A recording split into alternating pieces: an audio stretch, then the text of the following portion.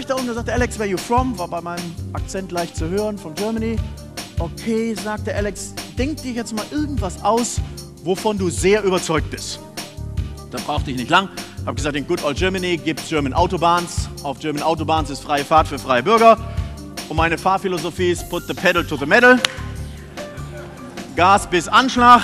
Und dann habe ich mich so triumphierend dahingesetzt und habe zu dem gesagt, so, und jetzt überzeugen Sie mich mal, dass wir in Deutschland ein Tempolimit brauchen. Sagte Alex, fährst du diese steilen Zielwege auch runter? Ich sage, ja. Sagt er, fährst du da ähnlich schnell wie im Auto? Ich gesagt, ja. Sagt er, okay, die folgende Situation. Du kommst da nach unten, fährst diesen Zielweg runter und auf einmal macht er eine ganz scharfe Kurve.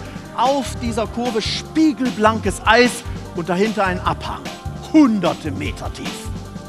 Und auf dieser Eisfläche eine Mutter mit drei kleinen Kindern. Alles Skianfänger, die im Flugbogen ganz ängstlich über dieses Eis Richtung Abhang rutschen. Und was machst du? Ich denke, blöder Kerl, dann lass dir bremsig ab und lass die Mama mit den Kids fahren.